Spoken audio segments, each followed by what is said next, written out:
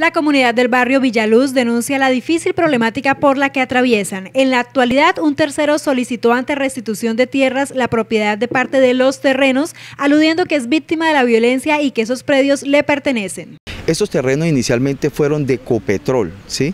Ecopetrol se los vendió a la electrificadora de Santander en el año 84, ¿sí?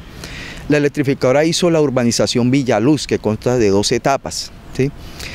En el año 2010, viendo la necesidad, nosotros como comunidad que necesitábamos que el gobierno, el municipio invirtiera en nuestro barrio, ¿sí? y esto al ser todavía una propiedad de la electrificadora de Santander, el municipio le quedaba impedido hacer inversión pública en, en, en nuestro sector.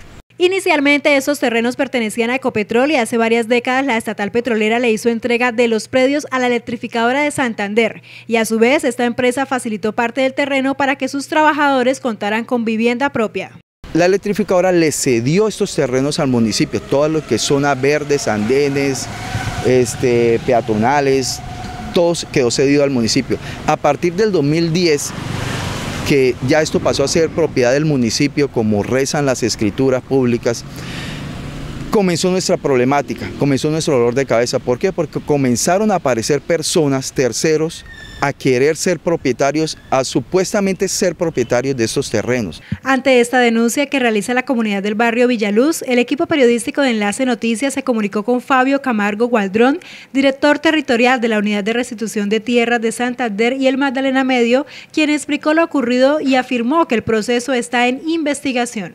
La primera vez, la primera reclamación, se le dijo que no, por todas estas eh, razones que tú estás eh, diciendo, precisamente porque eso era de Competrol, porque eso era un bien público.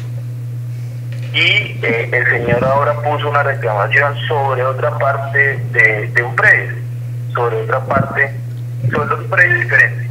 Eso otra vez vamos a estudiar. Pero fíjate que ya la primera vez se le dijo que no